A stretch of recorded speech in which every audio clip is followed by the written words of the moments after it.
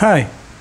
If you belong to a Toastmasters club anywhere in the world and you're currently meeting online because of the COVID 19 pandemic, you're probably already aware that the installation ceremony is uh, a couple of days ahead of us, uh, ahead of us. And you know that you were going to need a gavel for this ceremony because the gavel symbolizes the transmission of power between the old and the new, the incoming executive committee. So, how are you going to do this installation ceremony online? No matter if you do it on Zoom or Google Hangouts, Google Meets, or Microsoft Teams, you're going to need to have a, ga a gavel for each one of the new officers for the incoming executive committee. But what if you only have one gavel in your club? Then your option is to build homemade cardboard gavels. You can do it at home with what you see on this table. Paper, cardboard, scissors, a knife, a pen, and glue. What you're gonna do is to first print the design that you want. You might find a lot of them online on a color printer. Once you have printed it, of course, you have to make two copies of them. You're gonna cut the paper along the shape of the gavel, making sure to leave at least half a centimeter of white paper so that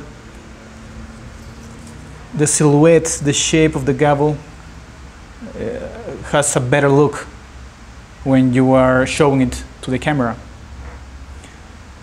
Once you have uh, trimmed it from your sheet of paper, the next thing you're going to do is to do the same thing, but this time on cardboard. You're to put one of your trimmed gavels in a cardboard, and going to draw another gavel on your cardboard following the shape of the one you already printed and trimmed with the help of a pen. Once you have made this drawing on the cardboard, you're gonna make exactly the same thing. You're gonna trim, trim it with the help of a scissor or a knife. And here we have one cardboard gavel shape. And we're gonna do the same with a second sheet of cardboard. We're gonna draw another gavel using the one we already printed and trimmed with the help of a pen. And after that, you're gonna cut or trim along that second cardboard gavel. And now you have two cardboard gavels and two color printed gavels. What you're gonna do next and finally is to just glue them together.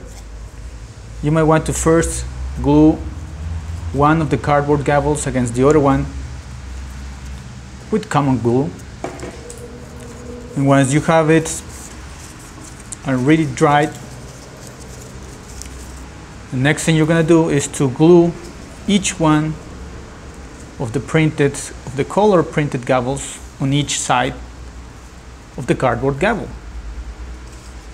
And in this way, you're going to have a two-sided gavel made out of cardboard that is going to be solid enough for you to show it in front of a camera in case you want to have an installation ceremony online using Zoom, Microsoft Teams, or any other online meeting software. It's gonna work really great because as you can see, it looks almost like a real gavel. One last tip.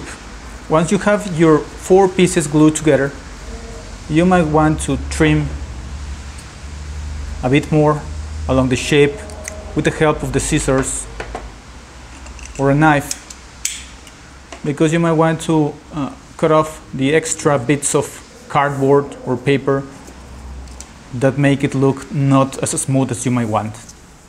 So there you go, a cardboard gavel for your online Toastmasters installation ceremonies. Hope you, hope you, you have fun doing it. See you next time.